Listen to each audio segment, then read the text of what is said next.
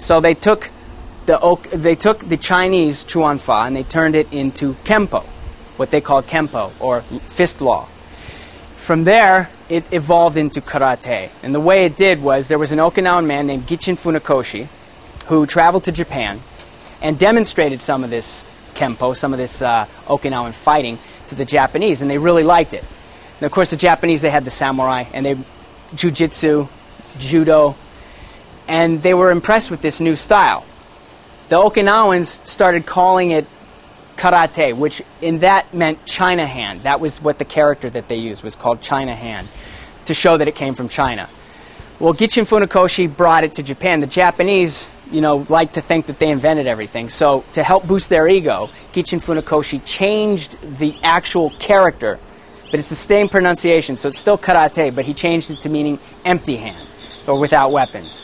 And the Japanese took Gichin Funakoshi's style, which he named Shotokan, and they've they adapted that for their own culture.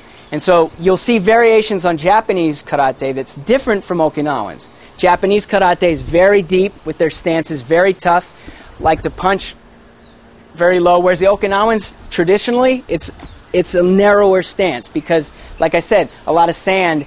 You can't get good footwork when you're this deep in loose sand. You want to stay you want to stay high and mobile. So that's just one basic differentiation between the Japanese and the Okinawans. They also have variations on their forms, or kata, which I'll talk about a little bit later. But that's a basic history.